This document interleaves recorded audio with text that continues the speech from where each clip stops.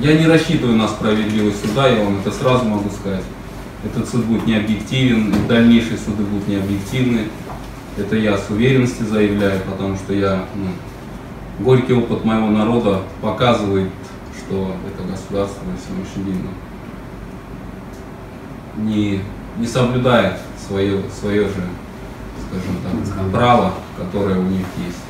Сейчас мы в данный момент столкнулись с э, полицейским государством, которое, декларируя э, гражданские права людей, на самом деле не, не, их, не соблюдает их. И в связи с этим э, я бы хотел обратиться к политикам украинским, чтобы они не, не вст- не вставали на те же грабли, которые сейчас встает руководство и, скажем так, судебное законодательство и все прочие органы э, государственные, российские.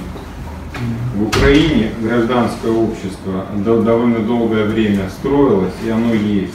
Его нужно сохранять, невзирая на то, что сейчас большие трудности для Украины, нужно его беречь и приумножать. Именно гражданское общество, когда каждый человек услышан, и каждый имеет свои права, и они, эти права, соблюдаются. Чувствуете поддержку Украины? Ну, конечно, чувствую. в виде присутствия консула, одного, другого, в виде присутствия журналистов, освещающих это- эти события. Конечно, это поддержка.